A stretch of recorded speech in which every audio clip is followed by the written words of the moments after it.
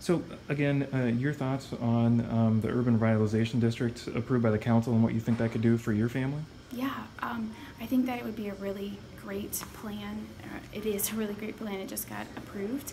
Um, because one, there are families that may not qualify for any of the grant programs because they might make a little too much money, which is great that they're making more money, but that doesn't mean they're making a whole great load of money to qualify to just be able to bankroll any kind of their projects that they would be doing for their homes. Um, so I, I just I think that that would be a something that would be great. Can you talk a little bit about some of the, or I guess, what your family experienced and, Yeah. and maybe the kind of the frustration or difficulties you had and how this would help out? Yeah, so some of the frustrations that my family and I have experienced, we live past where the Washington Revitalization ends, and it's at 22nd Street. And so we live just literally a few houses past that um, line. And so, because of that, we did not qualify for any of the programs that were for the Washington Revitalization Program. So, if we had lived the other side of 22nd Street, it wouldn't have mattered our income level.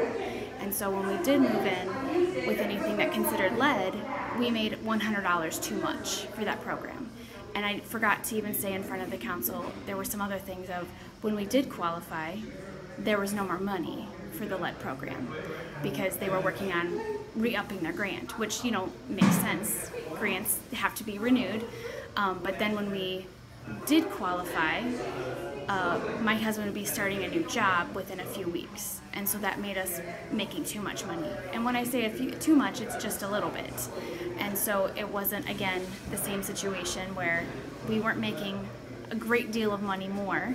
Um, we have three kids at home. Um, our daughter at that point had developed lead poisoning over the summer, and so we, I had already contacted um, the lead program and again unfortunately they said we make too much money.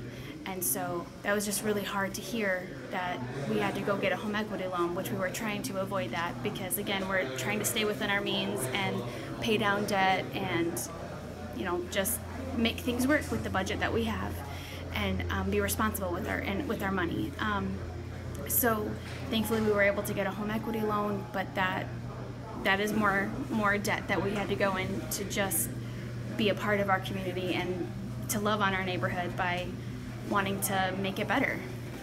And how would this change help your family maybe going forward? Well, we may qualify for, um, by having done the work, um, we may qualify for that we have improved our home by 10%, which we have given where we started three years ago when we moved into our home at, in, in 2016. And so one of my questions was, would that, will we be able to backdate? Unfortunately, again, because we were outside of the Washington Revitalization Network, or excuse me, neighborhood, um, we don't get that back date from where we had when we had moved in and started the remodeling. So hopefully I can get more information and I know I can. The gentleman with, that works I believe works for the city is downstairs answering questions. Right.